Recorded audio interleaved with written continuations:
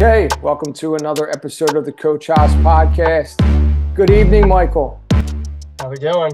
Doing well, doing well. We have a um, an interesting guest tonight. I'm going to start this with um, we're going to talk about urinary incontinence, bowel dysfunction, sexual dysfunction, and pelvic pain, and maybe a little bit more.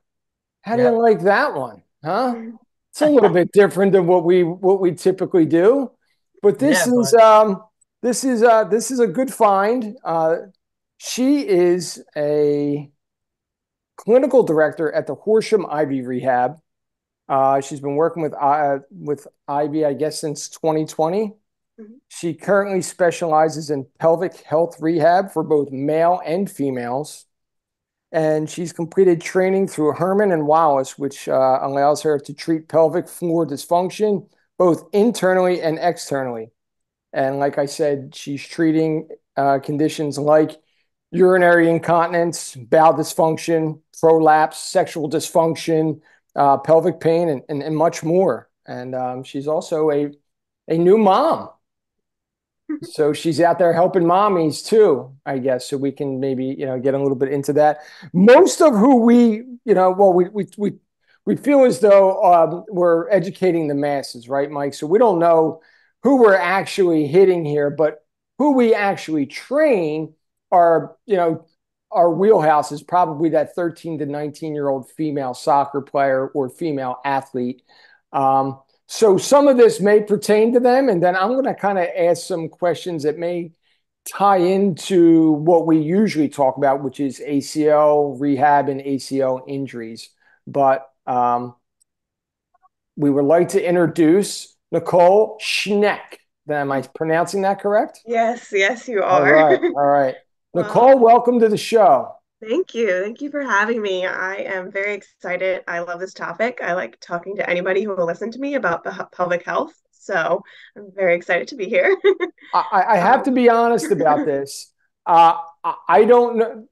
I'll take this back. I know a little bit about this because, full disclosure, my older son was having some issues um, a couple years back, and I was talking to Mike about it, and we were, I think we were trying to align him maybe with you or whatever. Yeah. Uh, from it's from what I understand, it doesn't seem as though he's having any issues, but that doesn't mean they can't be underlying at some point, right? Or Yeah. kind of rear its head again. So again, in the intro, we talked about this can be male or female. So when you start to think pelvic floor training and things like that, automatically your your head goes pelvic. I don't know. I'm I'm thinking female, right? I'm Yeah. thinking, all right, this has nothing to do with males you know and then when mike honestly when he brought it to me i was like i I don't know where it fits in but honestly what we're trying to do is make a lot of things fit in and make a lot of things make sense because it could be something from the body from the pelvis that's that's maybe you know a, a red flag that we're missing and then it kind of you know turns into something like an ACL or an ankle sprain or something like that so Yeah, um, for yeah kind of tell us a little bit about your background and how you got Yeah. to doing what you're doing. So, um, for me, I didn't know I wanted to do PT. When I was in high school, I just knew I liked science. And so I went to undergrad studying biology, and I was kind of all over the place, not knowing what I wanted to do. Um, and then I was fortunate to be able to go on a medical missions trip to the Dominican Republic, where I worked with multiple doctors, nurses. I think there was a dentist, an eye doctor, all different variety of medical professionals there. And we got to work with different villages that weren't getting medical care. And I think that opened up my eyes to like, okay, there's a lot you can do in the health field to help people. Um, so I started diving into what, where do I want to go? There's so many different ways you can go in the health field. Um, and I was like, well, I, I mean, I used to play sports. I've been to PT. Maybe I'll look into this. Um, and I had a family friend who was a therapist. So she let me shadow her for a little bit. And that kind of like was like, okay, I like this. Let me pursue this. So that led me to Drexel for my graduate schooling. Um, and that's where I got my doctorate in physical therapy. And then right out of schooling, I started working for Ivy Rehab. I was actually in New Jersey at the time and just doing like general adults outpatient Mhm. orthopedics. Um, and for the pelvic health component, my boss came to me at one point and was like, Hey, would you be interested in this? Like, there's a need. I think you would be good at it. I was like, Absolutely not. this sounds awful. I'm like, no, thank you. Like, I don't want anything to do with this. I like my uh, orthopedics. Like, I want to stay in my lane. but as I started treating more, I started realizing there was a lot of people that I couldn't fully help. And that's mm. kind of when my mindset started to change. So it started with, you know, I had some women that I was treating with like back pain and then you know you're treating them for a while they're getting a little better but then they start saying things like oh like i'm leaking when i try to do a squat mm. oh okay well i don't know how to help that but well, i'll see what i can do and then i think one of the main turning points for me was i had a patient come who was pregnant and her doctor was like it literally said on the script like teach kegels and i was like I don't know how to do that. I'm going to hear about it. Everyone hears about it. But how do you tell someone to do that? So that's when I was like, okay, I'll take the first course, kind of see what it's like, dip my finger in it a little bit, and take it from there. And I took the first course, fell in love with the material, realized wow. how many people you could help, and then went all the way through the Herman and Wallace training. And that allows me now to treat males as well, which has been like a really fun, cool experience. So, so part yeah. of that, part of that, uh, that certification with Herman and Wallace is that there's a male end to that. Is that? Yeah, so there's like different, so there's like four main courses you can take through Herman mm-hmm. Wallace, um, and they each like focus on different areas. So Understood. like the first course is like general, and it's all like it's pretty much female. Um, and then I think it's like the second course you get into like more of like you know rectal things, which you can apply to the male population. So gotcha. by the end, you get a little bit of everything. All right. Yeah. Yeah. yes, this is why this is a good topic because you know someone coming in with back pain, you know, and then they have some of these other issues. I'm thinking about, you know, how many women are going to feel comfortable telling a male therapist this. Um, so I obviously I think it's a great balance to have male and female therapists in the clinic just for that reason. Yep. I mean, we work with a lot of females, um, but again, you know, it, it is hard. There are some things that just not going to feel comfortable or embarrassed to talk about. And these could be underlying things that they're struggling with and we just don't know. It could be performance limiting. Sometimes maybe they're limiting what they're doing in the clinic for fear of something else happening, and we don't know. We think maybe they're just not motivated or focused. You know, and these are those underlying things that if we could pick up on maybe some signs or symptoms or something like that, we can maybe have a conversation. If it's not with the actual, you know, if it's like a teenager or something, we can talk to parents, say, hey, I'm noticing mm-hmm. these things. You know, is she saying anything else to you at home? Maybe we could refer out, something like that. Um, but yeah, I mean, that just kind of got me thinking about, you know, how many are, people are dealing with stuff and not saying anything. And then, you know, other males that are dealing with something, definitely not saying anything, you yeah. know, because of just right. embarrassment. I so, would say a lot of patients are dealing with these things and aren't saying anything. And even, you know, with me, with some of my females, it takes them a while sometimes to open up. You know, it, one of the nice things about our profession is we get to see people often and mm-hmm. you build a relationship with them. So over time, you get to like hear a little bit more and they get more comfortable and sometimes it takes a few visits for people to open up about some of these things.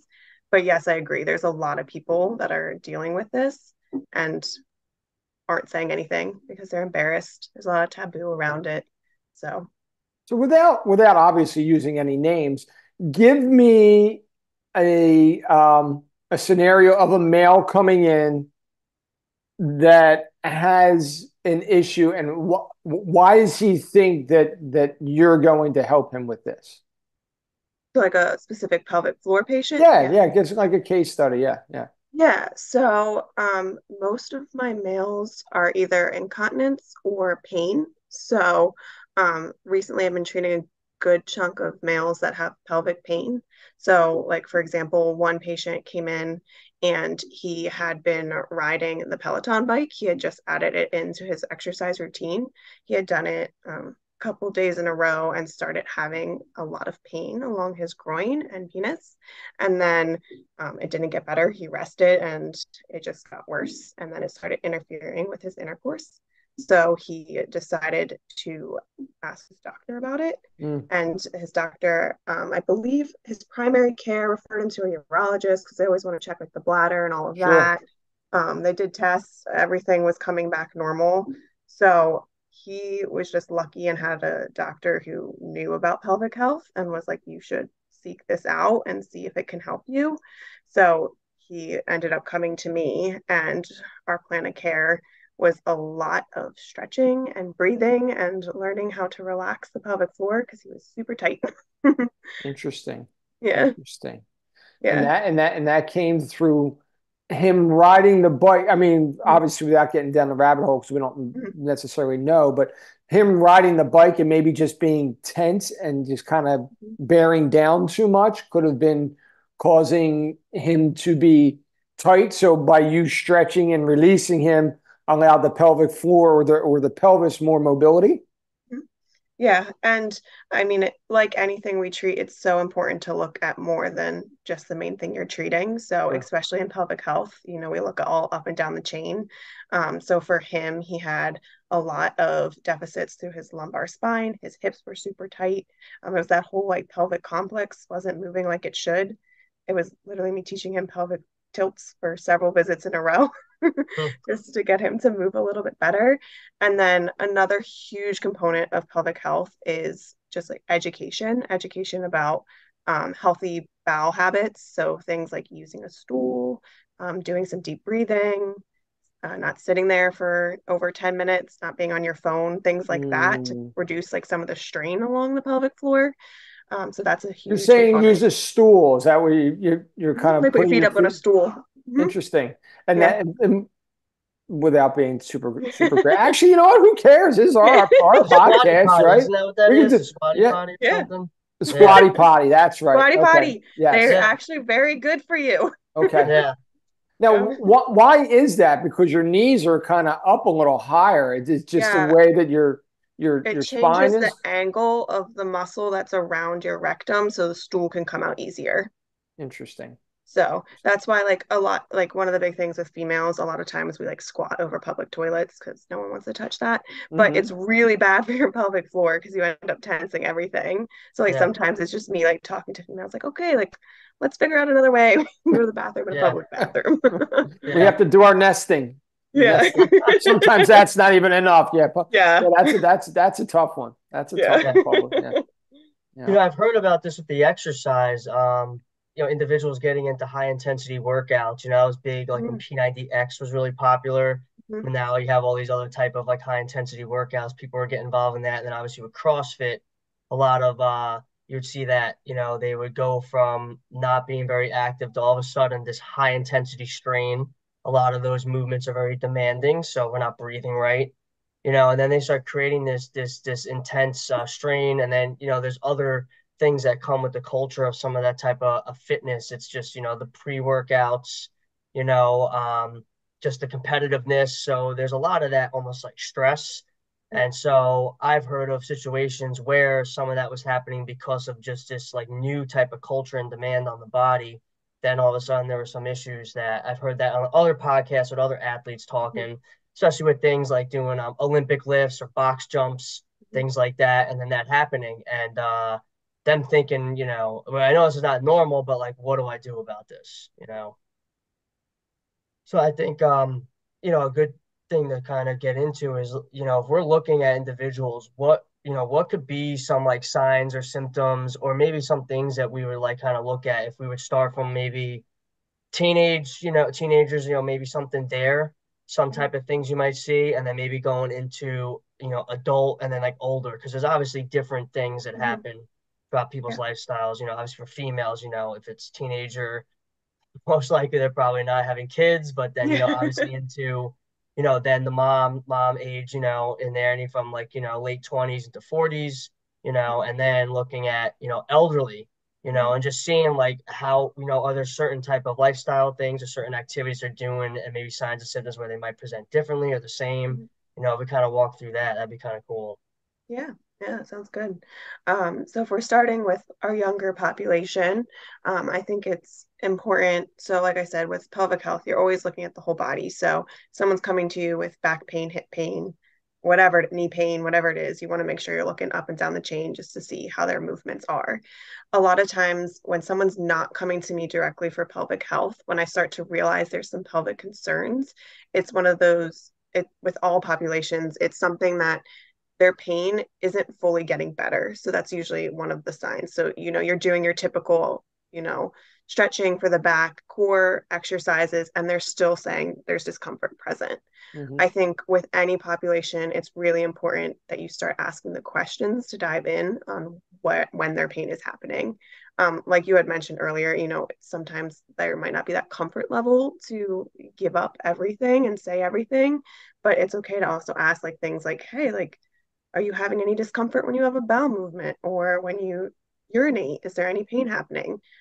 that's one of the huge signs with any population when they're like actually yeah like i i can't have a bowel movement or my pain gets so much worse when i try to have one um that's a question that's not as invasive as asking something about like sexual intercourse or something right. that's a little bit more um you personal. know yeah personal mm-hmm. um so with any population it's important to ask some of those questions um with our like younger girls, I think it's super important to have the conversation with their parents about birth control. Um, it's a huge thing. A lot of girls, a lot of my pelvic pain patients that are young and in their 20s are girls that have been on birth control for a while and it's made a lot of mm. changes with their hormones. What type um, of birth control? Now there's like so many different types? There's so many different. Um, honestly, there are not many great ones. They're all have different hormones and different mm. levels, and even some of the smaller doses I've had patients on, and it's messed with some of their levels. Yep. Um, this is all like subjective from me. I don't know any of the research on it, but just a lot of my younger patients that I do see are patients that have been on different types of birth control. It's been younger, even if they're not on birth control. If you think about, you know, your young high school athlete, she, him or her, they're going through so many hormonal changes. Mm. Um, the menstrual cycle is huge, so that's coming on around that time. Um, and changes in hormones can create a lot of different dysfunction. Um, it can create tightness, it can create pain, and it might present as okay, I have low back pain, or my hips really bothering me, or that's might be what they're telling us because it's easier to say that than hey, like my vagina hurts. right, right. Um, so, what would you see if if you know, um, you know that it's kind of a pelvic floor? Say it's not like a tight muscle or an imbalance in the back, like would you do those interventions and the same patterns are happening no matter what no relief any of that type of stuff? You know is that what you would see you know? So a lot of times when someone has pelvic floor dysfunction there's dysfunction in other areas. So if you're treating the other areas it's going to make a difference to some regard um, but it's not going to change everything. So it's hard to like as you're working with someone to be like, oh, like this is definitely like their pelvic floor. Like I said, a lot of times if someone's not coming to me directly, I'm always kind of giving them a little bit of pelvic floor exercise. But I'm also just looking to see, like, okay, like I'm treating their back and this isn't enough. They're still reporting pain. Like, let me start asking questions to dive a little bit deeper to see if there's something else. Um, a lot of my pelvic pain patients, which is a lot of like my younger patients, um, a lot of them have pain with um sorry, I like lost my train of thought. um, a lot of my younger patients that have pain, their whole pelvic complex isn't moving like it should. So mm. like they have, you know, like they'll do something like a pelvic tilt and be like, yeah, like that does not feel good. And then you're like, okay. And then you start doing things like breathing and you're like, and that feels a little bit better. And then I'm like, okay, like maybe this is more pelvic health versus a true just Gosh. like back strain or something like that, if yeah. that makes sense where do they usually say they're having pain? Like, are there telltale signs of that? And then are there definite telltale signs that there's a pelvic floor thing? Like, when you hear it, you're like, yeah, like that's definitely there. You know how we have certain pain patterns, things like, yeah, mm-hmm. that's mm-hmm. that's that. Mm-hmm. Um, so it's not always, you know, straight cut and straightforward. Mm-hmm. Um, one of the common areas is lower abdomen. So um, sometimes people will say like groin area as well if they don't want to like go fully in. Right, and right. you know it's pelvic floor if they're like saying it hurts through like one of the canals. But um a lot of my like young younger patients will talk about like lower abdomen like tightness and okay. discomfort. So that's like another thing you can always be looking for. Like if someone's like really complaining of like lower abdomen pain, your bladder is also near there. So if that's not moving like it should, or if they're not, you know, having bowel movements like they should, like that's going to impact the abdomen as well. So that's always like a really important area. Like if you're treating someone and they're coming in, they're saying like, "Oh, my my core hurts or my stomach hurts or I feel very weak through my core." It's like, okay, is there something else that's going on here that could be contributing? Is there ever a time that you would order imaging or uh, talk to a doc about possible image and what would the imaging show if that was yeah, so um, it depends on what they're coming for. So I have um, so like some patients that are like more on like the constipation side of things. Um, sometimes it's literally like we just need to see like if you're like impacted in there and need something mm-hmm. to help like clear you out. Um, okay. so I'll send them back to the doctor and be like, okay, you, you need to figure out if there's more here than just yeah, us yeah. relaxing your pelvic floor. Um, for some patients, like I have a patient I treated in the past who had a lot of tightness along her um, abdomen. She was a post C section patient, and it was like a couple years out. She had a lot of sensitivity along her lower abdomen. And then when I was doing some of my internal work, it just was a lot tighter than I was expecting. So she was one that I recommended going back to the doctor for an ultrasound just to see if there's adhesions in the area pulling on anything that shouldn't be pulling on. Um, for her, I don't know what she ended up doing. She went back to her doctor and then said she was doing better. So okay. hopefully, yeah, okay. I mean, she's good, but um, so it, it depends. But sometimes, you know, um, if patients are having more of like bladder dysfunction, um, usually they're seeing a urologist first, but and they're doing a lot of like bladder testing, seeing you know if their bladder is able to completely fill, completely empty, that kind of stuff. Um, but that's usually like screened before they get to me. Do sports hernias fall along the line of what you're doing as well? I mean, it, it, is that just something completely different? Like they're very, very closely related. I mean, you're working in similar areas, similar right. muscle groups. Um, it's very close. So I, I wouldn't say if someone has a sports. Are they treated the same not... way? Is, is the rehab treated the same way? Like Similar, yeah, okay. yeah. There's there's definitely a lot of similarities because you're working very similar muscle groups. And like I said, with pelvic health, it's so much more. I think there's a huge misconception that it's like, oh, you just do Kegels and you're you'll get better. No, yeah. um, most of the time, just doing Kegels is gonna make things worse because no one really does them properly. Mm, and then yeah. if you're someone who's tight and in pain, it's just going to make everything make worse. Tighten it, tighten it. Yeah, yeah. it's doing the gonna, opposite. I was gonna, yeah, I was going to say that while we're on the topic of Kegels, everyone thinks that that's the go-to, yeah. but that could actually be the problem, and then they're making the problem worse. You got to go like the opposite direction. Yeah. Could you yeah. kind of explain that a little bit? Like, yeah, of course.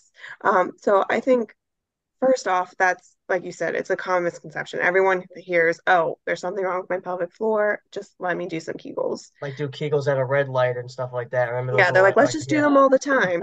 so first off, most people don't do them correctly, mm. or they have a lot of so when the pelvic floor is weak, um, you tend to compensate with a lot of other muscles. So one of the things I'm looking for if I'm doing like an internal exam is I'm seeing if they can one contract their pelvic floor correctly, but then two if they're compensating with anything. So a lot of times you like feel like the abdomen kick in. So a lot of times when people are doing Kegels at the red light, they're just contracting their abs and not mm-hmm. actually doing what they need yeah. to. Mm. So if they are appropriate for pelvic floor sh- strengthening, they're not even doing it correct. But then the people who are tight or have more of like a pain type of syndrome, they actually end up making things worse because they're just contracting their abs and pulling everything tighter and not letting things properly relax. So it's kind of does the opposite of what it needs to. Yeah. Interesting. breakdown. Yeah. Interesting. Yeah. I was just thinking in my head as you were talking, I'm like, should I try to pull something up on my my shared screen here, or maybe what I'll do is afterwards and and during the editing maybe i can add up into the you know right hand corner above you. If you can get me a video of, of someone that that allows you to to shoot video and, and maybe go through some of those and we can kind of show them right over your shoulder as you just discussed that yeah. we can add that in you know before i actually put this out you know um, on youtube and things like yeah. that. We can kind of see a little example of what you're talking about.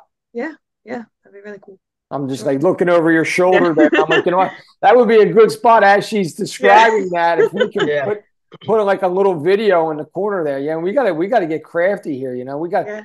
we got we got sponsors and things that we gotta you know that we have to answer to. So You know? Well, We gotta get, we gotta get our advertising dollars up, you know, so anything to make it, you know, make it better, so. Yeah. So we were just uh so is there anything else we want to add about the younger population? Oh, Um, so we yes. want to move Um, yeah, so biggest thing with the younger population, I think you just have to recognize they're going through so many changes. Mm. Um, and just be aware of that, where they're at. I know that's a sense another sensitive topic, but um, it's just really crucial. Um, and you know, a lot of times, you know, they're starting to like s- have sex and all of that. And same thing, it's not something you're going to directly ask, but as they get close, like as you're treating them, if you're noticing something is not fully making sense, um, that's where you could try to dive a little bit deeper with Mm. them or their parent. Um, you're always able to like refer them to a pelvic health specialist. Like you can send your patients to me for a screening.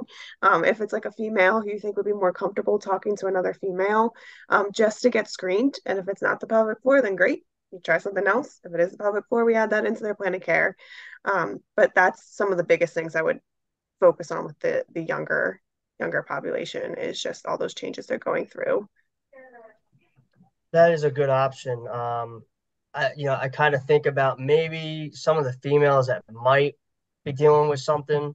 Um, just maybe send them over for a screening. Mhm. Um, you know, you're always kind of on, on top of this stuff, and then you know, um, you know, are there specific things you might maybe notice with, with with males, or is it the same thing? Like, would there be something that we might Yeah. see when we're exercising, or working out, and males might be saying like, you know, all right, Yeah, maybe some clues or something if they're not gonna be so straightforward. I'm thinking also like the males in the high school, they don't really talk yeah, as much as the females, it. so it's hard to pull information from them. So they definitely could be hiding something, you know? Yeah. Um, I would, I mean, with both populations, but especially males, really look at their pelvic movement. Um, a lot of males have a really hard time with like doing like pelvic tilts and um, relaxing down the pelvic complex. So if you see them tensing a lot, um, that can correlate with some like pelvic floor dysfunction.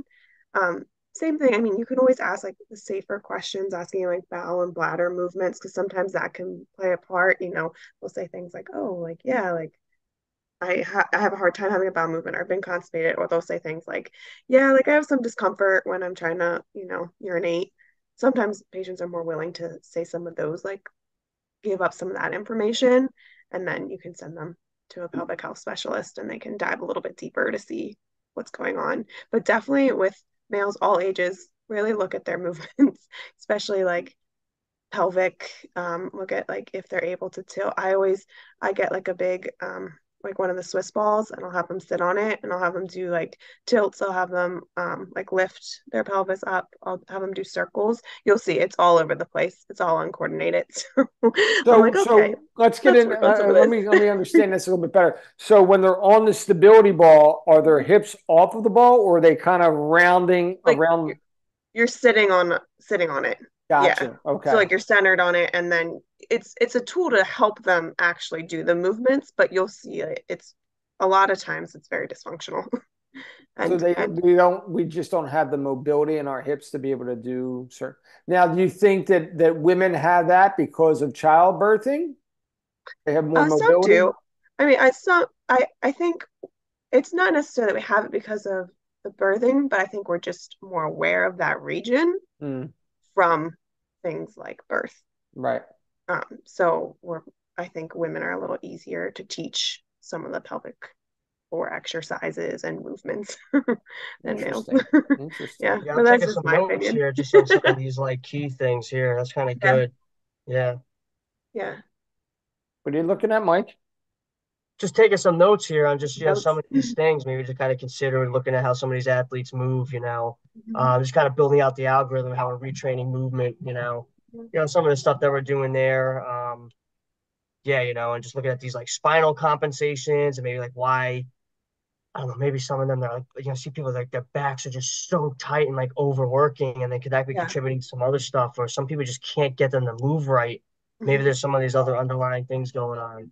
Yeah. Um, what about moving more into um, you know, maybe like uh, you know, post college, you know, young professional, like middle age, you know, uh, maybe with some of the lifestyle changes there. What are some things you might see there? Yeah, you Yeah. seeing it, and I don't mean to cut that off. I want to kind of add to what he's saying. are you seeing it more in like, you know, when you're talking about lifestyle, are you seeing it more in someone who is more sedentary, someone sitting more? Are you seeing more of, you know, when you're taking them through the health history, uh, are you finding that the people with these these uh, dysfunctions are are people that are doing long periods of sitting? Not necessarily. Okay. Some some are, but Mhm. um honestly, I mean, so I mean we all have a pelvic floor, so all of us can have dysfunction in this area. Um it's not necessarily correlated. It, it can be correlated with, you know, somebody who's not doing as much or somebody who's doing too much, Hmm. but it's across the board, all Okay. different. I have all different activity levels that I'm seeing in the clinic.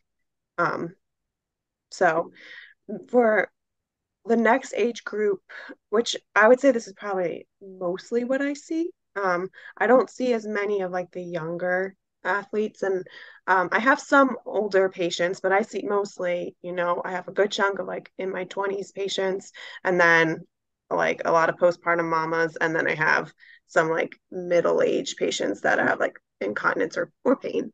Um, so this is probably the biggest group I see.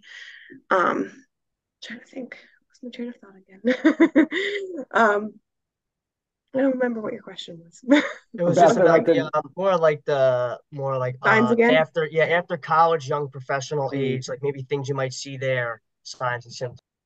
okay yeah so after college that young group so this age group um, I mean, it's similar things. A lot of times, if they're not coming for directly pelvic health, you know, you start treating them and then it's not necessarily getting better. And you're like looking at their movement, you're like, okay, maybe there's something more here. Um, the ones that are coming directly for pelvic health, um, a lot of them are pain patients. So a lot of them are more like sexually active, so they're noticing pain with that. Hmm. Um, females are more often coming to me because they go to the gynecologist and get a medical exam or cannot tolerate the medical exam. So then their gynecologist will refer them. Um, males usually I think part of it is just they're nervous to talk about it. It's just not something that's widely spoken about. Um, so they put it off for years. And so it's more like chronic pain patients. So they're a little bit older by the time they come into me. Hopefully that will change as people become more aware.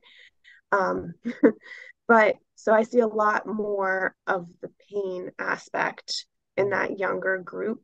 Um, for my patients that are more active, I think part of it is they're doing you know they're moving their body they're doing all these things that they know they're supposed to do to stay healthy then they're still having like pain and dysfunction in this area. So then they come to me and they're like okay how do i leave, relieve this? I can't squat without pain. I can't you know do my typical gym routine. What i can't run without leaking. That's another big one Mm. throughout the spectrum is um, stress incontinence. So that has to do with um, they, your pelvic floor is weak, so it can't withstand pressure changes.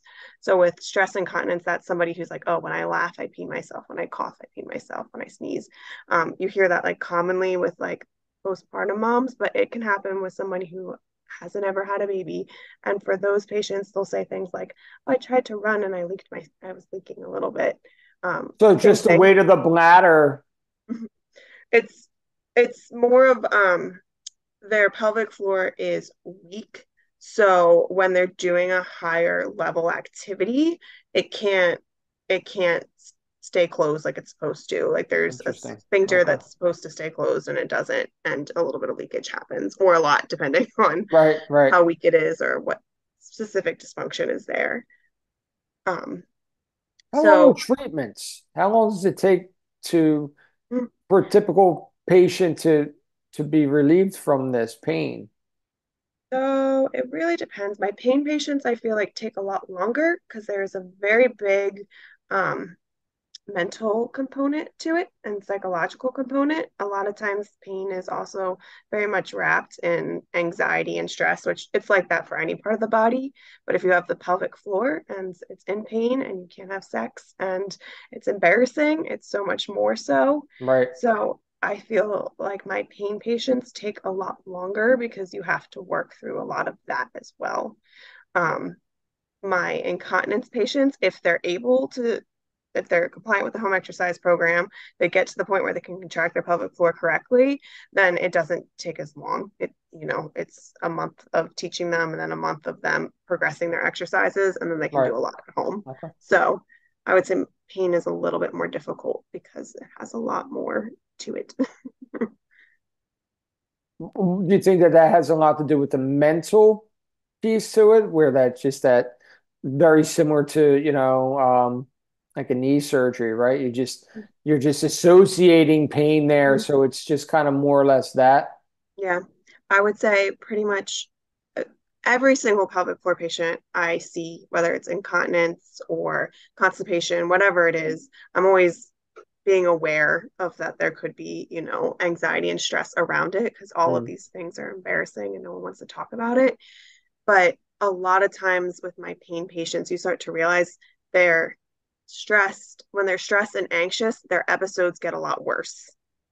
So so they're just back. they're just piling it up because now they it's like a circle. It's a cycle. Right. So it's their pelvic floor is in pain, which is embarrassing and makes you right. anxious, and right. then you get stressed and anxious about something else, so you're thinking about that, and it's this continual loop that I come in and I'm like, okay, Right. Let me try to relieve some of this pain, but also let's educate on other things you can do to help with the mental health aspect. So we talk a lot about like mindfulness. Um, I do a lot of deep breathing, a lot of like gentle stretches in my plan of care for like pretty much anybody, just because mm-hmm. they need to like calm everything down. Right. So we right. can start to break that cycle that's happening. Are you suggesting any type of supplementation at all? Yeah. I mean, it depends on the person. Um, and I've, you know, I've even some people I've like referred to, I'm like, you need to go just take a yoga class or yeah. something. Um, you need to find something that helps calm you down and relax this, whatever it is. um, some people it, they benefit from going to someone like a nutritionist or a dietitian who can help them, you know, with different, you know, food plans to help with you know, things that are flaring them up. So it just depends on the person. But yeah, there's a lot to it. yeah. yeah. What about um like pregnancy? What are normal changes that you might have during pregnancy, and then what are things that are definitely like obviously abnormal where yeah. someone who is pregnant should get pelvic floor? Mm-hmm. And then I know I asked you this question, but you say for the viewers, you know, when can someone who is pregnant start or you know go to pelvic yeah. floor therapy? So, yeah. um, so my personal opinion is every pregnant person should come to a pelvic floor specialist for at least a consult. mm-hmm. um, so when you're pregnant, obviously there's a baby growing in you and it's going to put a lot of pressure on that pelvic floor so it's very common to have things such as leaking start to happen it's really common to get pain um, round ligament pains one of the like common areas that you get discomfort or SI joint. They get a lot of SI joint, and that's just based on baby growing and putting stress on the body. Mm-hmm. Um, so those are common, but definitely things that a pelvic floor therapist can help you manage. Um, like I said, I think every pregnant person should at least get a consult um, because there's a lot we can talk about, even if it's just giving some education like, hey, here's some great stretches to do as you near delivery. So you can mm-hmm. kind of help calm things down, prep yourself um, to yeah. have a baby. Um, I have seen patients as early as, you know, after they see their doctor for the first time, it's like 12 weeks, all the way up. I've seen a patient a couple days before she went into delivery. So wow. you can see at all different points. Um, I like to, you know, I make sure like their OB has cleared them for internal work if they need it. A lot of my pregnant patients don't always need the internal. And some of it is just me teaching them some gentle stretches and movements to help calm down the pain. Um, some of them it's just, hey, like let me show you a couple like safe core exercises you can do just to keep everything stable and help take pressure off of where baby's sitting. Um, so it depends, but yeah, you can anywhere along that your journey of being pregnant, you can come into a pelvic floor. Um, and then definitely postpartum, I think everyone should come as well.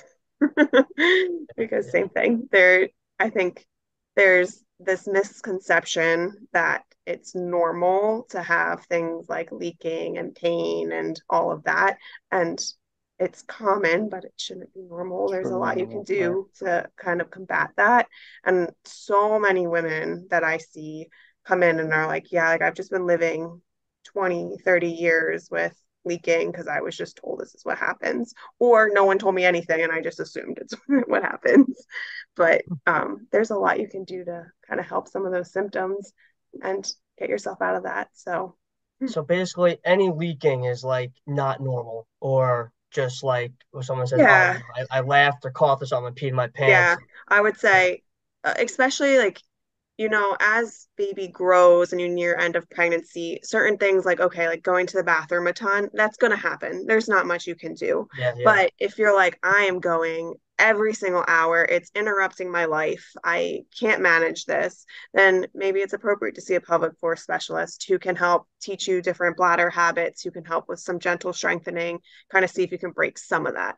Are we going to get them to you know the normal amount of five to seven that we're aiming for? No they have a baby pressing on their bladder. Like there's only so much you can do. But if some of those pregnancy related symptoms are interfering with daily life then yeah you want to see somebody. But yes something like leaking um, that's definitely something i would see a pelvic floor specialist for just because you want to combat it before delivery. Um, you want to you know get it before it gets any worse if it's early on the pregnancy, you want to get somebody to kind of like teach you what to do because as baby gets bigger, symptoms are just going to get worse. So, um, and then I would say like pain is another one that you mm-hmm. you know yes you expect as you're pregnant it's not going to be comfortable, but if you're having pain that's inhibiting you from doing what you need to do, then you can there's a lot you can do to calm some of that down. So see see a pelvic floor specialist or a regular PT. they yeah. can treat a lot too. right. I would imagine that you know, throughout pregnancy that some form of exercise and fitness would be beneficial. You know, there used to be this old stigma that pregnant women should not do anything, shouldn't do mm-hmm. this. And the more specialists that I've been listening to are saying that that could actually be detrimental. Um, yeah, and these other things can really help for the development of the baby and also just a mm-hmm. more comfortable pregnancy, but help delivery, mm-hmm. you know, go well. Um, yeah and I would assume be the same thing for this. You know, you tell most of you're pregnant. I mean, you know, there's some extreme. You know, there's some you know girls that still do like CrossFit up until like whatever. but you know, some will want to do that, but just some form of just weightlifting and just some cardio. They think, oh well, you know, I got the baby, I can't do anything, can't ride up stationary bike, can't do this. You know, yeah. what would you say about that?